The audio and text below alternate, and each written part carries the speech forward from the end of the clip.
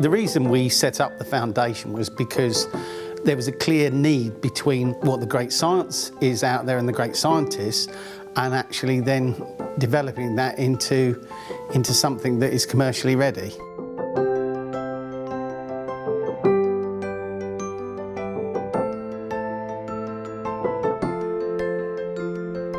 In simple terms, the foundation is a community open to everybody.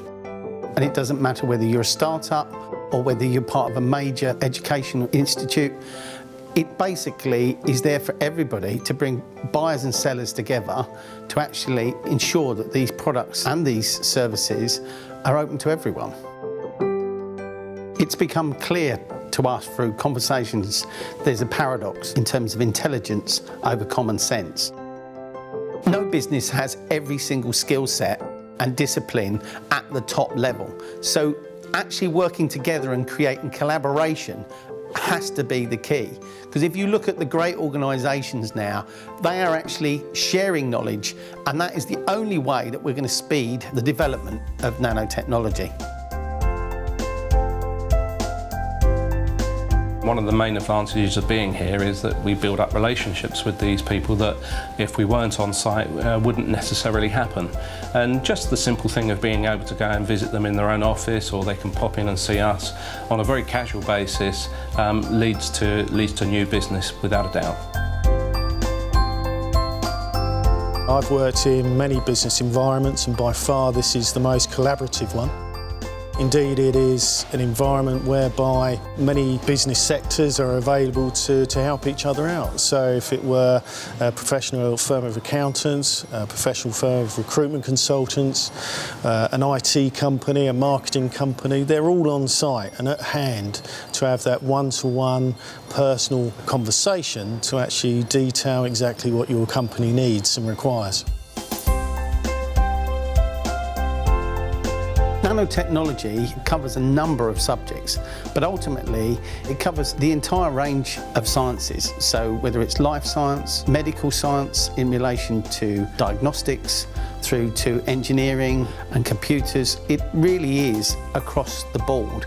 We're here really to support any organisation and ultimately reach the wider world. The actual science in the 21st century is going to be more about how do we tackle these global, these global issues. And, and I believe what the Nano Foundation are trying to do, you know, they are laying that foundation.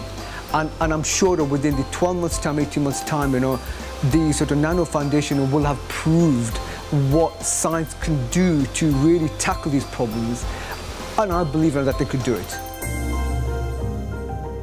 It's fantastic to have the World Nano Foundation at Discovery Park and for us to be a part of, of that collaboration, transferring information and bringing all of the sectors together from the finance industry, the funding industry and then also all of the different science sectors and support sectors.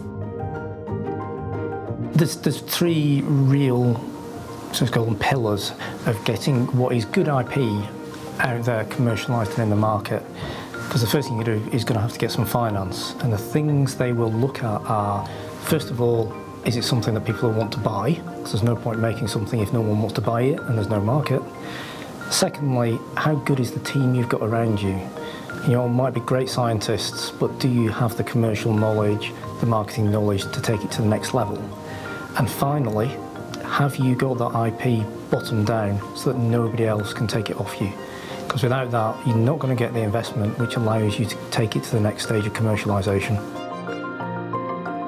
We recently had our launch and we're getting support from all over the world, from Asia, Japan, China, America, as well as the UK and Europe. We've been amazed at the amount of support we've had from both academia and industry. We've had fantastic time listening to some real thought leadership.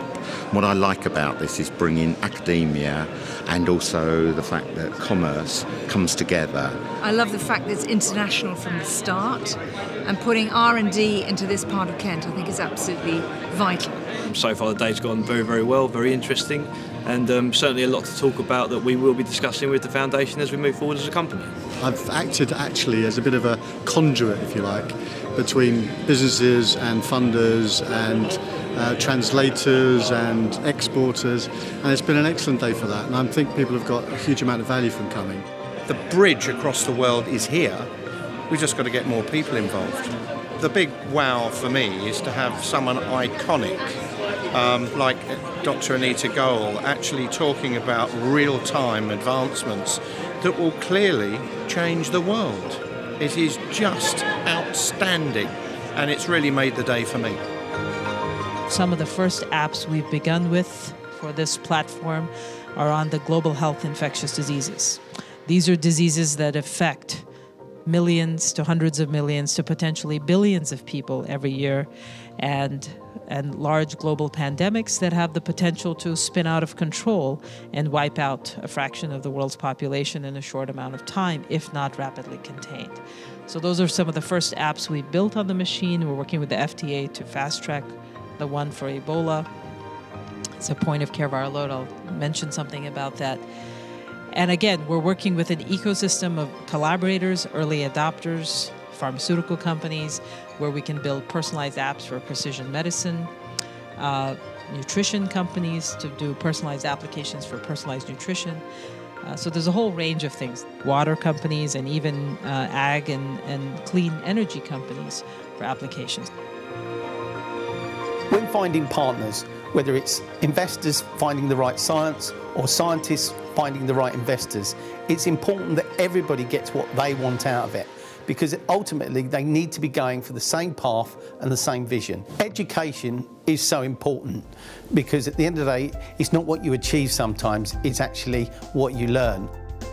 I think the problem with young people these days is they're too clued up on their mobiles and going out and having fun, which is important, but they need to realise the reality and meet people like Dr. Anita and be places like this to talk to important scientists and they can show them a pathway to science and say this is important.